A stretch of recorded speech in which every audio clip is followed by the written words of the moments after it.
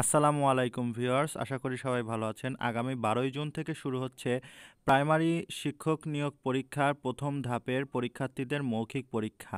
বিভিন্ন জেলা পর্যায়ে এটি শুরু হতে যাচ্ছে, যারা ভাইবা কার্ড পাননি, আশা করি এই সময়ের পূর্বেই পেয়ে যাবেন। তো ভাইবা কীভাবে হয় আমি সেই বিষয়ে এই ভিডিওটি তৈরি করেছি এবং প্রত্যেকটা বিষয় এখানে তুলে ধরার চেষ্টা করেছি। বিভিন্ন স্টেপ বাই স্টেপ কি কি প্রশ্ন আপনাকে করতে পারে সেই প্রশ্ন সম্পর্কে ধারণা দিতে চেষ্টা করেছি এবং প্রত্যেকটা বিষয়ের উপরে আমি দরকার হলে পূর্ণ একটি ভিডিও বানাবো বিস্তারিত। তো, ভিডিওটি পুরোপুরি দেখবেন। আশা করি একটি সম্পূর্ণ ভাইবার সম্পর্কে ধারণা আপনার হয়ে যাবে। ভাইবার প্রথম ধাপই হলো ভাইবার সম্পর্কে প্রস্তুতি। অর্থাৎ আপনি ভাইবা দেওয়ার আগে আপনার কি কি প্রয়োজন হবে? তো প্রধানত যেই দুইটা জিনিসের উপরে এখানে মনোযোগ দেওয়া উচিত সেটি হচ্ছে প্রয়োজনীয় কাগজপত্র, মূল সনদপত্রসমূহ এবং পোশাক ও পরিবেশন।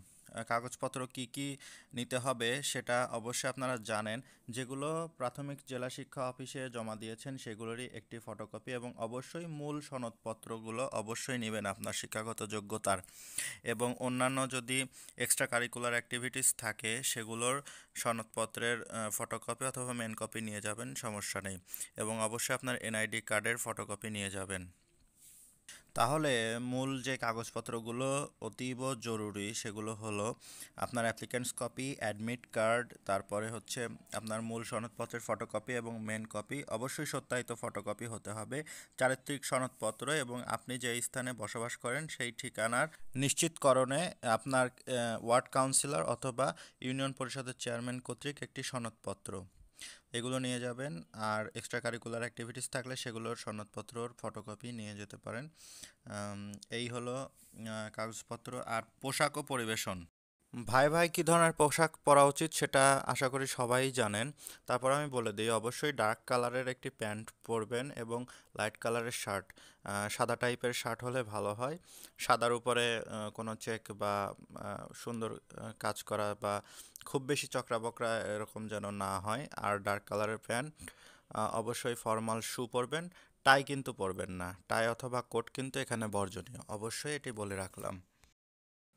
দ্বিতীয় যে ধাপটি হলো সেটি হলো ভাইবা প্রক্রিয়া, অর্থাৎ ভাইবার দিন, কীভাবে ভাইবাটি আসলে নেওয়া হয়, এখানে কি কি প্রসিডিউরস ফলো করা হয় ডিসি অফিসে সেগুলো হলো নির্দিষ্ট তারিখে জেলা প্রশাসকের কার্যালয়ে উপস্থিতি, আপনাকে যে ডেট দেওয়া হবে ভাইবার, সেই ডেটে অবশ্যই নির্দিষ্ট সময়ের পূর্বে জেলা প্রশাসকের কার্যালয়ে উপস্থিত হবেন, ওখানে দেখবেন আপনার উপজেলার আরও অনেকে উপস্থিত হয়েছে তাদের সঙ্গে একত্রে থাকবেন এবং জেলা প্রশাসক এসে অথবা ওনার প্রতিনিধিরা এসে আপনারা যে উপস্থিত হয়েছেন সেই সম্পর্কে ইনশিওর করে যাবে যে আপনারা উপস্থিত হয়েছেন, কে কে উপস্থিত হয়েছেন।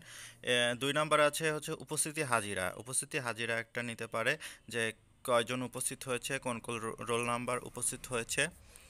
এরপরে হলো আপনার নির্দিষ্ট সিরিয়াল অনুযায়ী ভাইবার রুমে প্রবেশ। ভাইবার রুমে প্রবেশের অবশ্যই নিয়মকানুন মেনে করতে হবে। এটার একটা প্রসিডিউর আছে। যারা পূর্বে ভাইবা দিয়েছেন অথবা ভাইবা সম্পর্কে জানেন, তারা আশা করি জানেন। তারপর আমি বলে দিই, একটি স্ট্যান্ডার্ড মানের ভাইবা অ্যাপ্লিক্যান্টের কাছ থেকে ভাইবা বোর্ড যেটি আশা করে সেটি হলো, আপনি ভাইবা রুমে অবশ্যই অনুমতি নিয়ে প্রবেশ করবেন। দরজাটি পুরোপুরি খুলবেন না। অর্ধেক খুলে আপনার শরীরের কিছু অংশ প্রবেশ করিয়ে তারপরে অনুমতি নেবেন। ইংলিশে অথবা বাংলায় সেটি আপনার ইচ্ছা। ইংলিশে মে আই কামিন স্যার অথবা বাংলায় স্যার আমি কি আসতে পারি?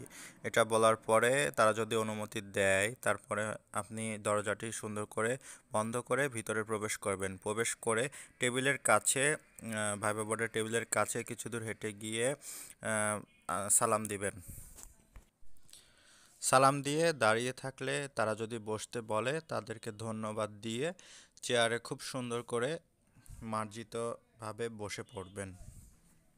চেয়ারে অবশ্যই হেলান না দিয়ে বসার চেষ্টা করবেন এবং দুই হাত আপনার দুই পায়ের উপরে অর্থাৎ উরুর উপরে রাখবেন।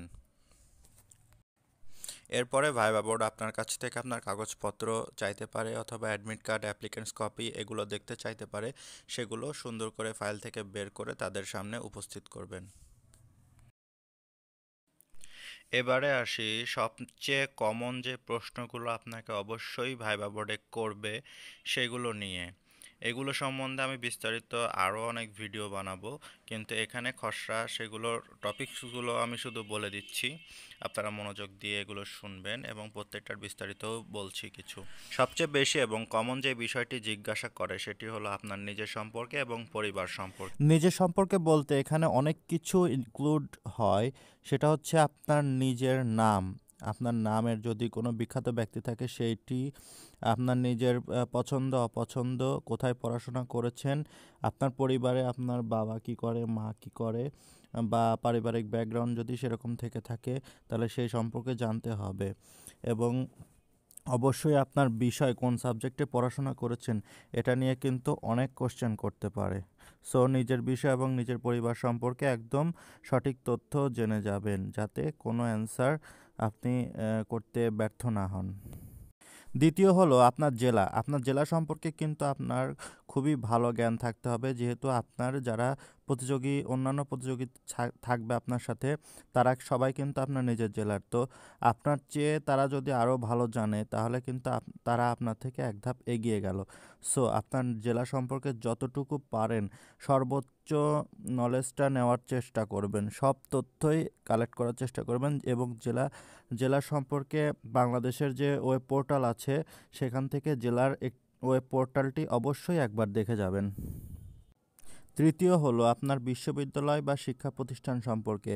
আপনার বিশ্ববিদ্যালয় যদি কোনো নাম করা শিক্ষা প্রতিষ্ঠান হয় তাহলে সেই সম্পর্কে আপনার ভিসি কে, এটা সম্পর্কে জানবেন, আপনার বিভাগ, আপনার কোন বিষয়ে পড়াশোনা করেছেন সেটা অবশ্যই আপনার বিষয় সম্পর্কে প্রশ্ন করবে এবং আপনার বিষয় কীভাবে প্রাথমিক শিক্ষক বা শিক্ষকতাকে রিলেট করে সেটা নিয়েও প্রশ্ন করতে পারে।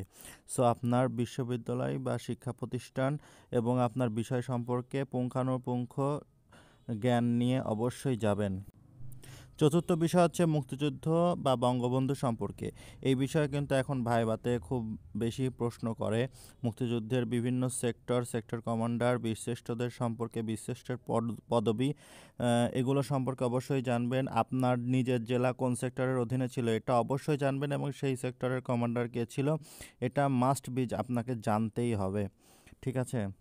আর মুক্তিযুদ্ধ সম্পর্কে কীভাবে আরও বেশি নলেজ নিয়ে যাওয়া যায় সেই বিষয়ে আমি অবশ্যই ভিডিও বানাবো। ভাইবা সম্পর্কে আমাদের সাথে থাকবেন, অবশ্যই ভিডিও আপলোড দিব।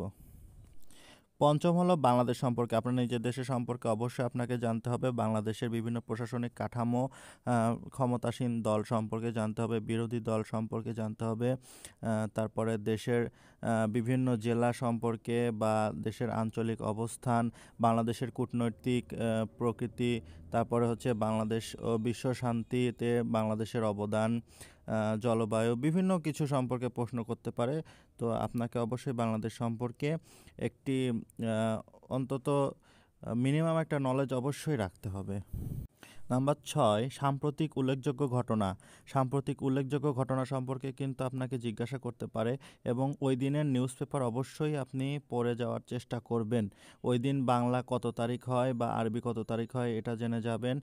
বর্তমানে ইউক্রেন রাশিয়ার যুদ্ধ হচ্ছে এই বিষয়ে আপনি অবশ্যই নলেজ নিয়ে যাবেন।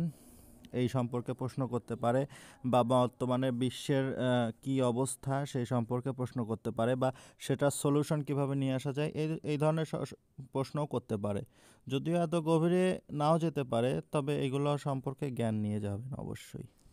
সপ্তম হলো প্রাথমিক সহকারী শিক্ষকের পদটি সম্পর্কে। অর্থাৎ আপনি যেই পদে জন্য ভাইবা দিতে গিয়েছেন অথবা যেই পদের জন্য আপনি চেষ্টা করে যাচ্ছেন, সেই পদটি সম্পর্কে আপনার ধারণা আছে কি না সেই পদের কি কি কার্যাবলী এবং সেই পদের থেকে প্রমোশন পেয়ে আপনি কতদূর যেতে পারবেন, কোন কোন পদে যেতে পারবেন বা আপনি কোন গ্রেডের পদের জন্য আবেদন করেছেন, আপনি কেন এই পদের জন্য যোগ্য, আপনার বিষয়, যে বিষয়ে পড়াশোনা করেছেন সেই বিষয় থেকে এই পদে আপনি কীভাবে ভূমিকা রাখতে পারেন বিভিন্ন ধরনের প্রশ্ন করতে পারে বা এই চাকরিটি কেন করতে চান। এই প্রশ্নটি কিন্তু মোটামুটি সবাইকেই জিজ্ঞাসা করে। তো এই বিষয়ে আপনি অবশ্যই উত্তর সাজিয়ে নিয়ে যাবেন এবং আমি আমার নেক্সটের ভাইবা সম্পর্কিত ভিডিওতে আমি এই বিষয়ের উত্তরগুলো সুন্দর করে সাজিয়ে আপনাদের সামনে তুলে ধরব। অষ্টম নাম্বারে আছে এক্সট্রা কারিকুলার অ্যাক্টিভিটিস প্রিয় পরীক্ষার্থী ভাই বোন এক্সট্রা কারিকুলার অ্যাক্টিভিটিস অবশ্যই আপনাকে ওখানে পারফর্ম করতেই হবে। হয় গান, না হলে অভিনয়, না হলে কবিতা আবৃত্তি বা আপনি যেটি পারেন সেটি সম্পর্কে কিন্তু আপনাকে ওখানে পারফর্ম ওরা করতে দিবে। এবং আমি যখন ভাইবা দিয়েছিলাম ডিসি অফিসে ওরা কিন্তু প্রত্যেককেই কবিতা আবৃত্তি অথবা গান অথবা অভিনয় করে দেখাতে বলেছিল। ইভেন আমিও গান গেয়েছিলাম। সো আপনি কোন এক্সট্রা কারিকুলার অ্যাক্টিভিটিসে বেশি পারদর্শী সেটি সম্পর্কে পূর্ব প্রস্তুতি নিয়ে যাবেন। গান হলে পারে সে কোন গান গাইলে ভালো হয়, তাদের পছন্দসই হবে বা দেশের গান, বিভিন্ন ধরনের গান সম্পর্কে ধারণা নিয়ে যাবেন। লালনগীতি পল্লীগীতি ভাটিয়ালি, তারপরে দেশের গান রবীন্দ্র, নজরুল এগুলা সম্পর্কে ধারণা নিয়ে যাবেন। কবিতা আবৃত্তি করতে চাইলে পারে আপনার প্রিয় কবিকে তার সম্বন্ধে ধারণা নিয়ে যাবেন। রবীন্দ্রনাথের কবিতা অবশ্যই জেনে যাবেন, নজরুলের কবিতা কিছু জেনে যাবেন। আর অবশ্যই বঙ্গবন্ধুর যে কোনো একটি বই পড়ে যাবেন। আপনি বঙ্গবন্ধুর কোনো বই পড়েছেন কি না বা বই পড়তে যদি ভালোবাসেন তাহলে তো অবশ্যই আপনাকে পড়তেই হবে। এই বিষয়ে কিন্তু প্রশ্ন করতে পারে। আর বই পড়লে অবশ্যই বইয়ের ভিতরকার ঘটনাগুলো মনে রাখার চেষ্টা করবেন। তো এই ছিল আর কি টোটাল যে ভাইবার প্রসিডিওর বা ভাইবার সম্পর্কে একটি ধারণা। আমি প্রত্যেকটা বিষয়ের ডিটেলসে ভিডিও বানিয়ে আপনাদের সামনে নিয়ে আসার চেষ্টা করব। তো এখানে আমি মোটামুটি সবগুলো স্টেপই কিন্তু তুলে ধরার চেষ্টা করেছি। আশা করি ভালো লেগেছে। ভালো লাগলে অবশ্যই লাইক কমেন্ট করবেন। কিছু জানার থাকলে অবশ্যই কমেন্ট করবেন। ধন্যবাদ।